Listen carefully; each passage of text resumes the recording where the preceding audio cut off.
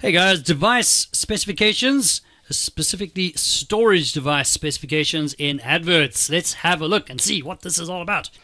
So, if we start off with RAM, random access memory, let's have a look at some of the specifications or the things that we look at in terms of RAM. Well, the first one is the obvious one that is storage capacity. Storage capacity. So we get RAM like 2 gigabytes, 4 gigabytes, 8 gigs is good, 16 gigs, yes, 32 gigs, rock and roll.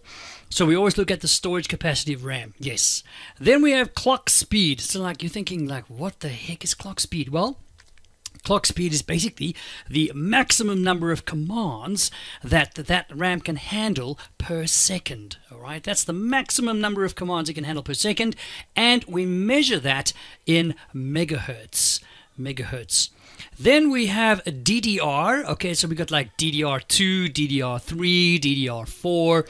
DDR means double data rate. It basically means that it's just faster.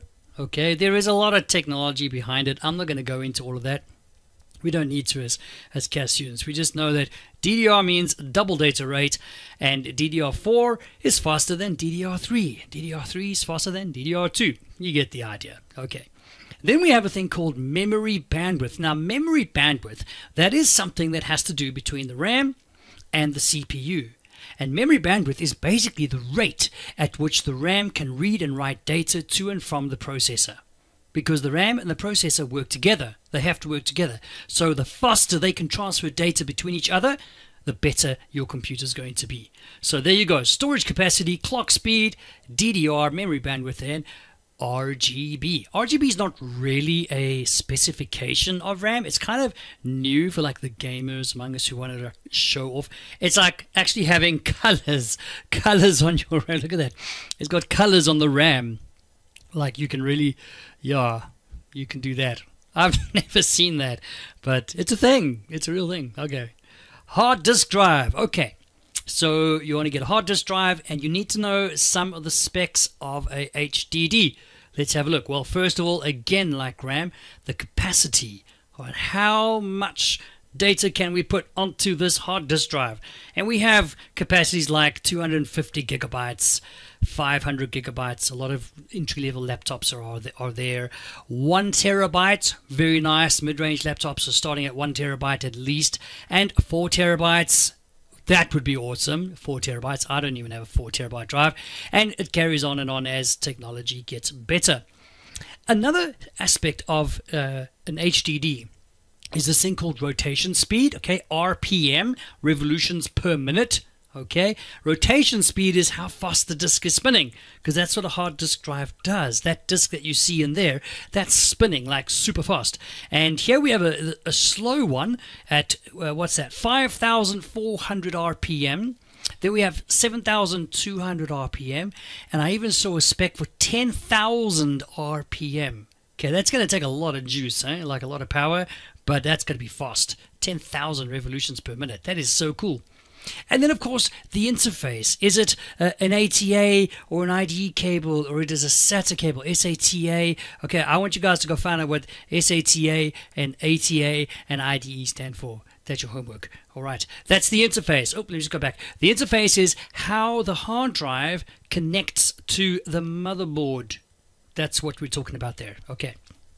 And of course, transfer speeds. All right. How fast can we read and write data to and from the hard drive? That's very important.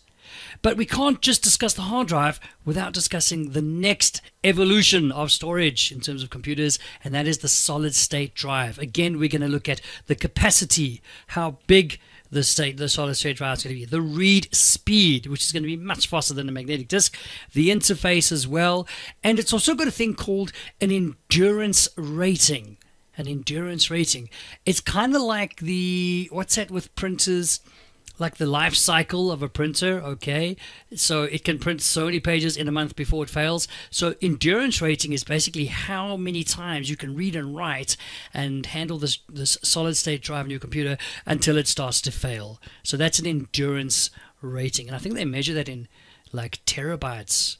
They like read and write in terabytes, like which is pretty darn cool. Okay, So let's look at adverts. Now, if you remember a previous lesson or a previous video that we did, I looked at these ads. I'm using the same ads, so you can see it's the same stuff, okay? So here we are back on our MediaTek full core i7 10th gen 480 GB SSD PC. Yes, let's go to the analyzing ads. Okay, so here we can see, right, we're looking at certain specifications and we're looking specifically at storage, okay? Permanent and temporary. So we're starting off with this one 8 gigabytes of DDR4 RAM. So we got 8 gigs of RAM, that's the capacity. DDR4 is like the speed of it, and that's pretty pretty good. I mean the 8 gigs DDR4 RAM, that's a pretty good spec. Right, 480 gigabytes solid state drive. Now, 480 gigs doesn't sound like a lot, and it's not that much, but when it's a solid state drive in conjunction with uh, 8 gigabytes of DDR4 RAM, that means you have a very fast computer. That's very good. Very, very good. So, in terms of storage, we have temporary and permanent, and the specs are there for us. We actually know what we're getting when we get this computer. Let's have a look at the Lenovo blah blah blah. Okay, so here we are. Let's see now. We're looking at storage again, temporary and permanent. So storage, we got ah RAM, four gigs. Doesn't tell us much at the start. Okay, storage capacity, a one terabyte hard disk drive, not a solid state drive this time. One temp, uh, one temp, because I'm reading the this highlighter. One terabyte is actually pretty good. It's a lot of space.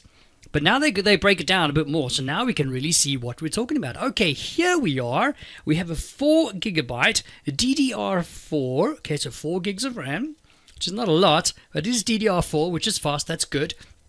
At 2666 megahertz. Do you remember what we measured uh, earlier? That's the speed of the RAM. Okay, that's the speed of the RAM. We've also got a one terabyte hard drive. It is 7,200 RPM, revolutions per minute. Okay, so that's what that tells us.